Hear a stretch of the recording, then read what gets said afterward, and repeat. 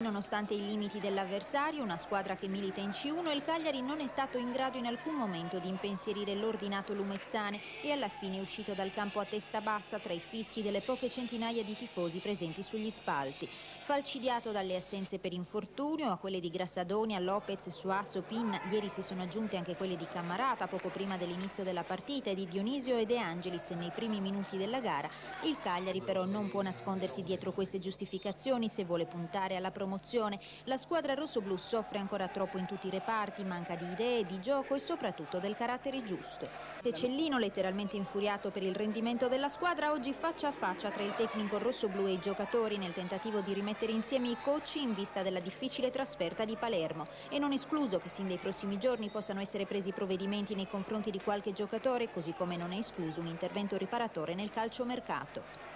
chiedere, non dico scuse ai tifosi, ma una prestazione del genere sicuramente non può aver eh, soddisfatto i tifosi. Mm, io sono l'allenatore per cui sono il primo responsabile e le responsabilità me le prendo tutte, sicuramente questo non è il Cagliari che io voglio, è il Cagliari che dovrà esibirsi a Sant'Elia o in tutti i campi, campi d'Italia.